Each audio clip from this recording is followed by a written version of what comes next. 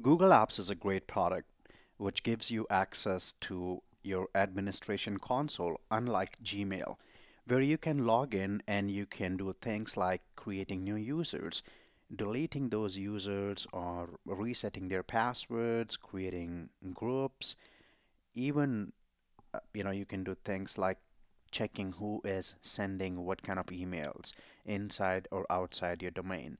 But if you have just signed up for Google Apps, you might be wondering where the hell is this administration console? How can I even log into that?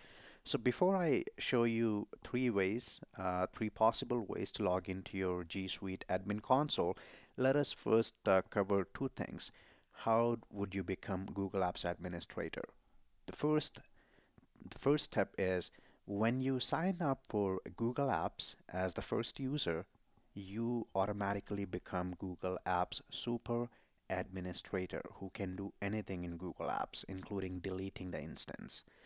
The second thing is called uh, Google Apps Delegated Administrator, which means if you signed up for Google Apps, if you are a super admin, but you know you are stuck with a lot of other things and you want to delegate your administration permissions or privileges to one of uh, the users in your team, you can delegate either all or some of your administration permissions and then that user becomes delegated Google Apps Administrator. And if you want more details on that, here is a link which will uh, show you the video uh, on how you can delegate your admin permissions in Google Apps. Okay, so now as you know, there are two ways to become Google Apps admin. How would you access the admin console?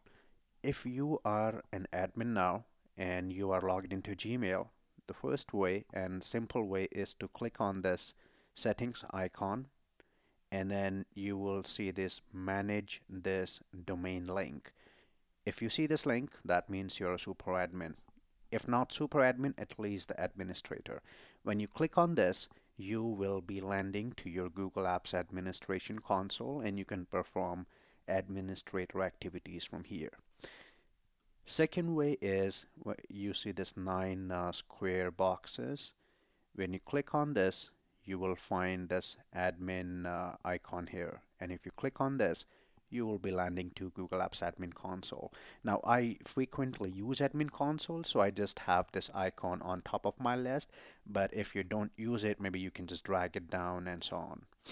So this was the second way and now the third way is if you directly want to go to uh, Google Apps Admin Console even when you are not logged into your Gmail just go here in the browser and type admin.google.com click on that if you are already logged in, you will be landing straight away to the admin console.